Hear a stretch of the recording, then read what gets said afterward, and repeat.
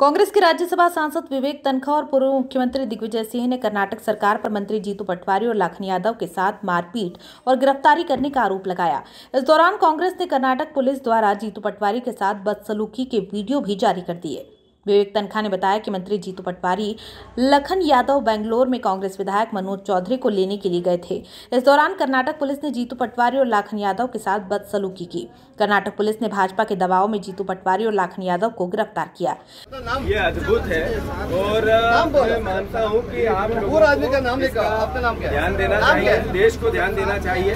उसके पिता को नहीं मिलने जा रहा है मनोज चौधरी के पिता नारायण चौधरी। ये केवल वहाँ बात वो नारियाता बात करके इतने में तो इन्होंने बिल्कुल जैसा ऐसा कर दिया जैसे कोई अपराधी हो मंत्री जी के साथ में सबके साथ में गलत हरकत करी और बहुत ही घटिया शब्द बोले हैं। हाँ, मैं मानता हूँ कि इस तरह की तानाशाही पुलिस की बर्दाश्त नहीं होगी। इस दौरान विवेक तनखा ने बेंगलुरु में मौजूद कांग्रेस विधायकों को लेकर कहा कि सभी विधायकों को भाजपा ने बंधक बनाकर वहाँ रखा है। सभी विधायकों के इस्तीफे की जाँच होना चाहिए। भाजपा ने नेता आपराधिक कृत्य कर रहे हैं।